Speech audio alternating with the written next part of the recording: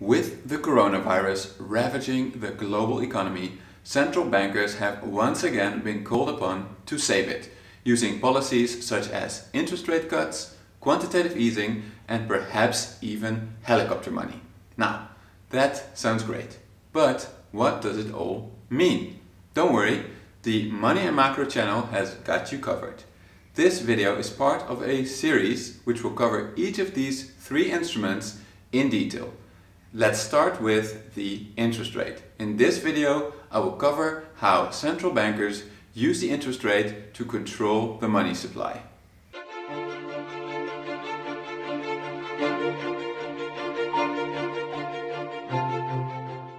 Alright, how do central banks control our money?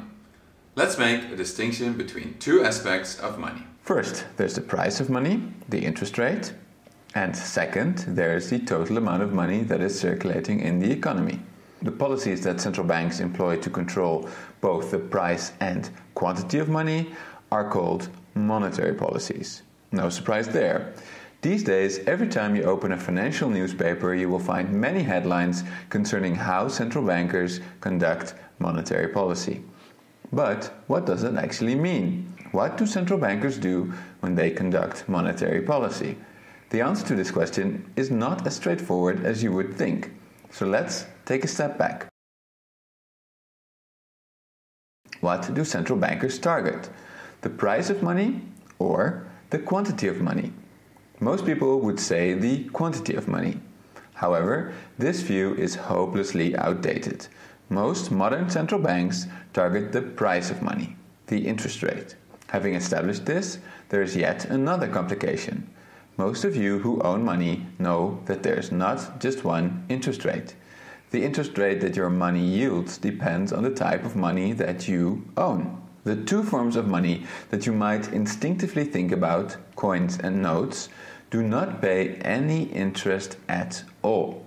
Money in the bank or bank deposits, now this might pay out some interest rate. However, this rate is set by your bank, not by the central bank. After all, you might be inclined to switch banks to get a better interest rate. That being said, those of you following the news closely might have noticed that when central banks increase or decrease their interest rate, quickly your bank will follow suit. Now, why is that? The reason is that the central bank is the bank of bankers. It provides the same services for banks as banks do for us. Central banks issue money that only banks can use. This money is usually called reserves. Reserves are very important to banks for two reasons.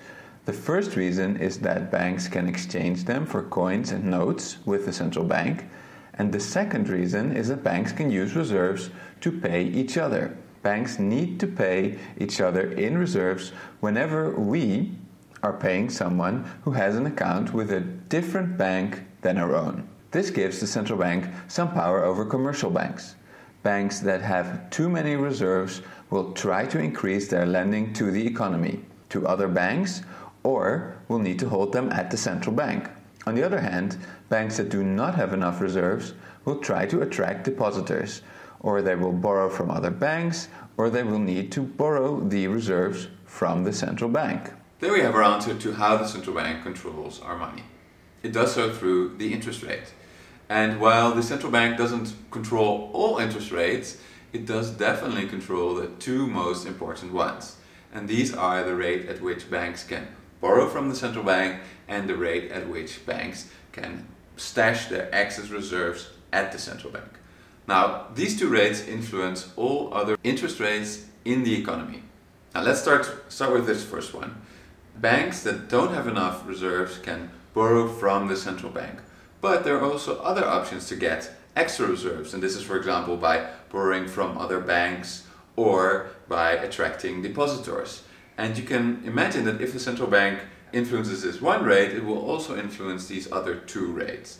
Similarly, if banks have too many reserves, they can stash it at the central bank for this rate, and this rate also influences the rate at which they're willing to lend these excess reserves to other banks or increase their lending into the broader economy. Now, there we have it. Uh, this is how the central bank interest rates influence all other rates in the economy. But now we've only discussed how the central bank influences the price of money, the interest rate. But we haven't really discussed yet how the central bank can influence the quantity of money, the total quantity of money available in the economy. That is what we will do next. If we reflect on the different types of money that we have so far discussed notes, coins, reserves, and bank deposits one thing stands out. Out of these types of money, there are only three categories of money for which the central bank controls the quantity. What makes things even more interesting is that the central bank cannot control the amount of money created by commercial banks directly. Yes, that's right. I said that money was created by commercial banks and that central banks cannot control the amount they create directly. That is a whole topic in itself, and therefore I created a separate movie that discusses this issue. You can find it in a pop up window in the top right of your screen, or if you're on a tablet, check out the link in the description. That being said, private bank money creation is very important in modern economies. So much so that money created by commercial banks is by far the biggest share of the money supply. This means that central banks cannot control the most important part of the money supply directly. So, does that imply that modern central banks have no control over the money supply whatsoever?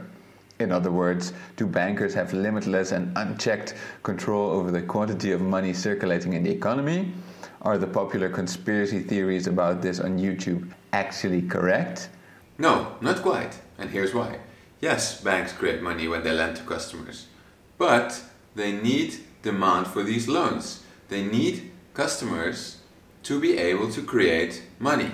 What's more, there are multiple banks that compete with each other. If one bank starts lending too much, customers might doubt that they are good for their loans. And at that point, they might first want to try to get some loans from other banks, and ultimately, they will have no choice but to go to the central bank for a loan. As you might have guessed, this means that the central bank can influence the quantity of money by influencing the price of money, the interest rate, at least theoretically. How, how does this work? Well, let's say that the central bank raises the interest rates to a very high level. This will mean that all other rates in the economy will have to follow. So all other banks will also increase rates to a very, very high level.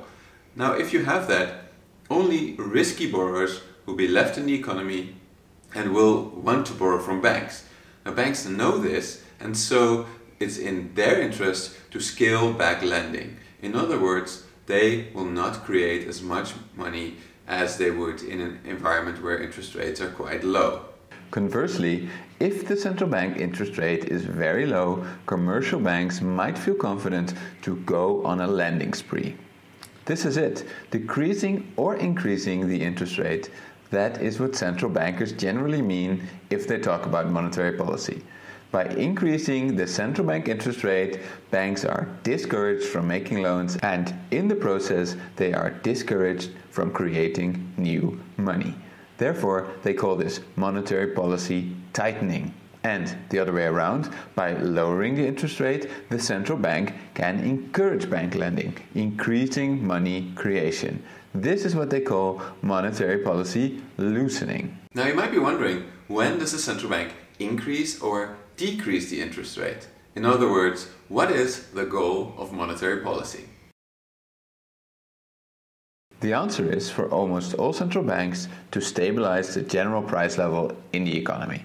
To be more precise, they want to stabilize the change in the price level in the economy, better known as inflation. Central bankers like stable inflation. So, it makes sense that most central banks use monetary policy to control inflation. This practice is what they call inflation targeting. Usually, central banks set an inflation target at around 2%. Why 2%, you may ask? This number might seem a bit arbitrary. And while it is still a bit arbitrary, there is some thinking behind it. In general, central bankers believe that a bit of inflation is good because it helps borrowers pay off their debt and because it motivates people to spend their money as it is getting worth less over time if they hold it. To achieve their 2% target, central bankers will fiddle with the interest rate to get inflation near that target of 2%.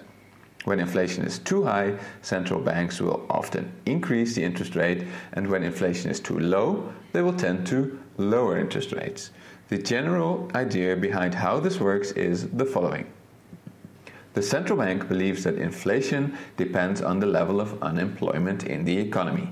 Low unemployment is believed to lead to inflation, whereas high unemployment is believed to lead to deflation. Why is that? Most central bankers believe that if unemployment is really low, workers will demand higher wages.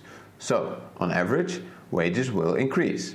Companies who see their profit levels then shrink will then increase the price that they charge for their goods. Because all companies will do it at the same time, the overall price level will rise. And that's what we call inflation. So, how does the interest rate matter for all of this? Well, as mentioned earlier in the video, the interest rate determines how attractive it is for banks to lend out money. A low interest rate will tend to boost investment and consumption, which means that the economy is performing well and that unemployment is low. But if the economy is performing too well with an extremely tight labor market, inflation is very likely to be above target. If this is the case, the central bank should increase the interest rate. This will slow down lending, which will in turn slow down consumption and investment and cool down the labor market. Wages are now likely to stop increasing, and so will prices. So, by increasing the interest rate, the central bank has cooled down the economy and prevented inflation from getting out of control. In the opposite case, in which the economy is underperforming, unemployment is high, and inflation will tend to be low, maybe there's even deflation. The central bank, following their theory, should then decrease the interest rate. This will increase investment, consumption, which will increase economic growth and inflation. That is the story that most central bankers have in mind when they determine whether the interest rate should go up or down. But in practice, as citizens of Europe, the United States, and Japan have experienced over the last decade, it is questionable if this story is actually true. In these regions, central bank interest rates have been super low for a long time, but inflation has hardly moved. Especially the Bank of Japan and the European Central Bank just don't seem to get their respective inflation numbers to target. So, can central bankers really control both the price and quantity of money in our economy just by tinkering with their interest rates.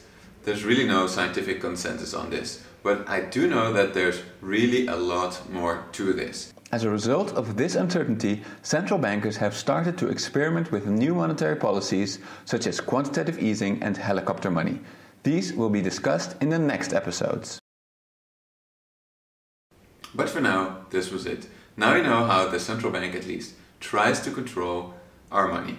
And this happens through them setting their interest rates, and this influences all these other interest rates. And their theory goes that this will then influence the quantity of money circulating in our economy, and finally, this will have a big impact on inflation. And since central banks have a target inflation of around 2%, they will generally try to increase interest rates if inflation is above target to slow down the economy somewhat and lessen inflation.